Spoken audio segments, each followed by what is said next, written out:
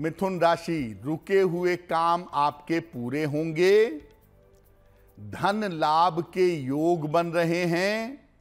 परिवार में आपके व्यस्तता रहेगी।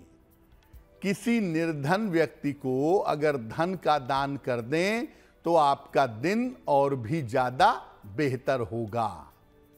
शुभ रंग होगा हरा